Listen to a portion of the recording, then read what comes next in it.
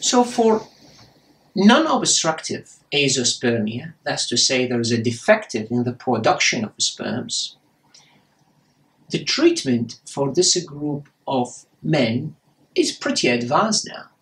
In a way, if you look at assisted conception techniques, that's to say IVF or the more improved technology of IVF, and specifically I'm talking about something called ICSI, intracytoplasmic injection of sperms, which we can explain at one stage, all we need is really effectively a good quality one sperm so we can take and inject into the egg of the uh, uh, female partner. Therefore, what we're going to need to do to treat that person with obstructive azoospermia, non-obstructive azoospermia, is to get that sperm out. And there are different ways of surgically retrieving sperms from the testes. It could be as simple as taking a small needle into the testes and retrieving these sperms.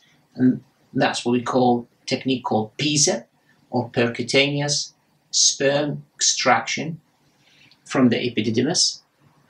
The alternative would be going directly into the testes using a standard testicular biopsy or using special surgical techniques using surgical microscopes where we call microdissection and extraction of sperms.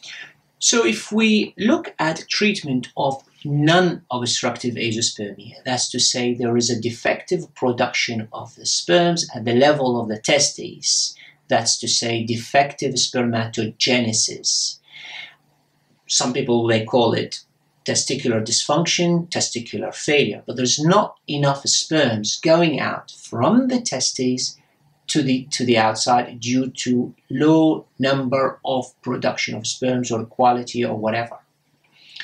In that condition, which we call again non-obstructive azoospermia, what we're going to need to do, we are going to need to get one sperm effectively, healthy good sperm from the testes so we can use assisted conception technology like ICSI, intracytoplasmic injection of sperm. So all we need is one healthy sperm to find it and inject it into the egg to achieve conception.